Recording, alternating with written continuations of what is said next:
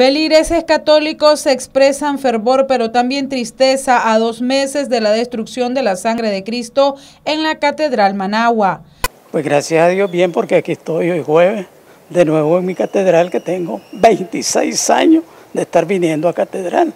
Entonces yo le pido a todos los nicaragüenses que tratemos de mejorar todo para que no sigan sucediendo cosas del demonio.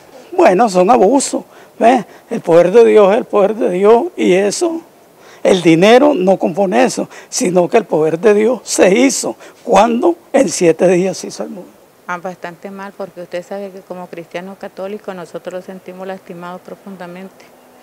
Porque, pero vamos a seguir adelante con la misericordia divina de Dios. Sí, y vamos a seguir viniendo, aunque pase lo que pase. Sí, por, eso, por eso estamos aquí en el templo, porque siempre Él siempre está protegiéndonos y cuidándonos. Vengo los jueves, los viernes, los domingos, y a veces si me da tiempo, pues cuatro días a la semana. Bueno, yo lo que le pido a Dios, ¿verdad? En el nombre de Jesús y María Santísima, que a esa gente le dé sabiduría y entendimiento para que el, para que el Señor le remueva su corazón. Así es, con mucha más razón hoy actualmente por todo este problema que ha pasado, que es lo más triste que ha pasado aquí en Nicaragua. Nunca se esperaba que iba a pasar esta cosa. Lo sentimos muy demasiado triste por completo. Pero siempre nosotros estamos aquí asistiendo, que nosotros le pedimos a Dios que todo esto ya vaya recuperándose poco a poco.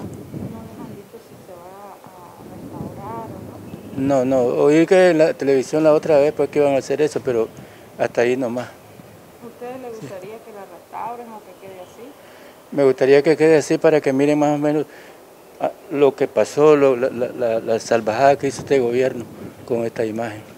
Nosotros todo el tiempo le comunicamos a las demás personas pues que aquí todo pues, esto pues no es muy, lo más triste que se ha dado y, entonces le decimos pues que siempre estemos aquí de cerca de la sangre de Cristo, porque es la imagen que nosotros ha sido más adorada por todos nosotros los nicaragüenses a la iglesia usted no había visto en sus pies? Nunca, ni de chaval yo nunca había mirado lo, que pasó aquí y todo lo que está pasando actualmente. Hoy esto triste, pues, y toda la juventud que viene para, creciendo, Dios primero que esto ya no se siga porque es lo más triste que está pasando en Nicaragua. La policía concluyó en las investigaciones que el incendio donde quedó calcinada la imagen de la sangre de Cristo no fue intencional y descartó asimismo mano criminal en el siniestro. Para Noticias 12, Castalia Zapata.